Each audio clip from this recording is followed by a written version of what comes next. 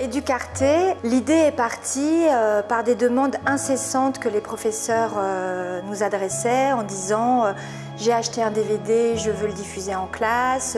Donc on a décidé avec l'expérience qu'on avait en site de vidéo à la demande de créer un site pour les professeurs de manière à leur donner à voir environ 1000 œuvres documentaires en français et en allemand pour leur usage personnel et pour leur usage en cours.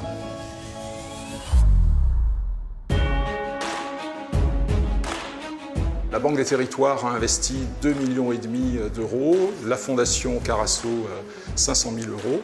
C'est quelque chose qui, euh, culturellement, est passionnant. Et puis, il y a un côté également euh, numérique. c'est important, dans le cadre de cet appel à manifestation d'intérêt, que bah, l'idée d'avoir euh, un maximum d'enseignants et d'élèves qui, qui puissent utiliser ces vidéos était assez stimulant.